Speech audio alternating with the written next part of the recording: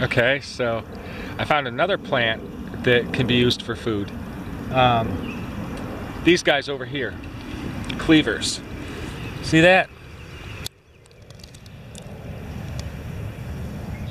But the older ones sometimes are a little scratchy on the throat if they're too velcro-y.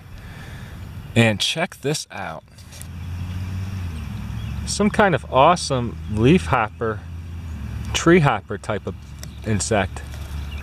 A little breezy and I'm a little shaky, but what is that? That's pretty cool looking. What an awesome hopper.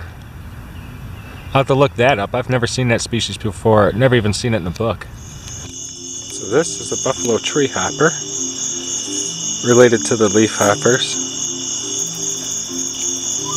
Really cool insect. They're really small though. And uh, I'd wanted to see one of these since I was a kid.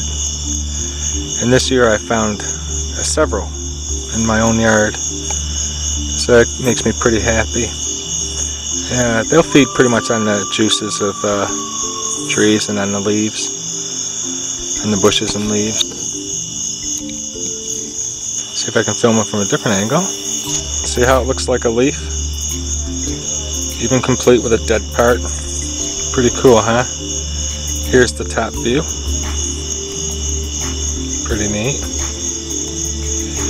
And it's got veins in its wings to look like uh, leaf veins.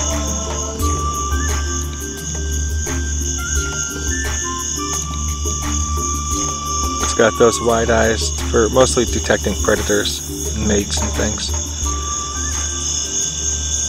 Probably has good depth of field though, considering its its eyes are so far apart. Look at those awesome designs. Look at those awesome marks. Nope, he's going to the bathroom.